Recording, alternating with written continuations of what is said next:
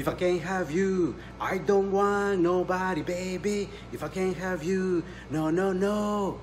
It's getting late. I'm getting a little tired. I'm getting a little crazy. It does help. It gives me energy. I'm so excited because we are going to be installing a three-phase brushless DC motor onto our existing RTA system. And I can't wait to show you all the steps that goes along into making this thing.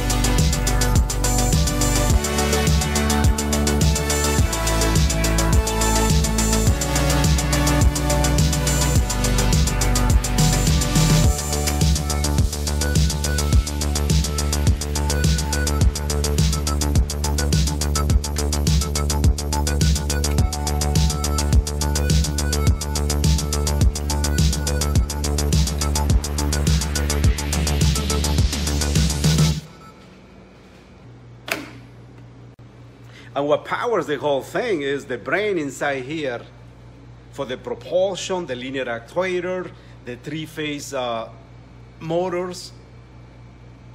And now we're going to test it. And we're going to lower the RTAs.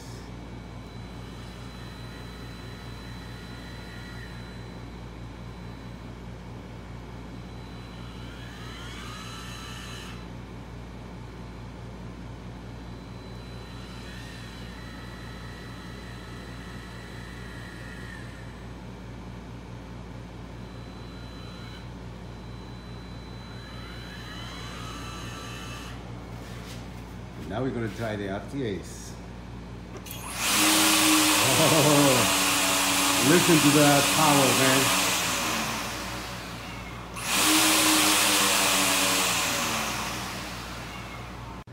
So I went outside and I cut a one inch branch. I never done this test before, but I'm anxious to see if the uh, three phase brushless DC, DC motor will be able to cut this thick branch. So let's see it.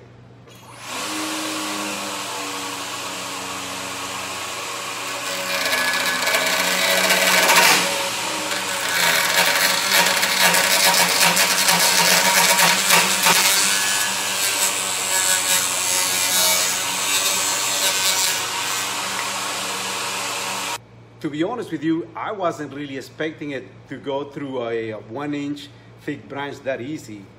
This brushless DC motor has a lot of power and I have some ideas for uh, other applications for this GOAT 22T.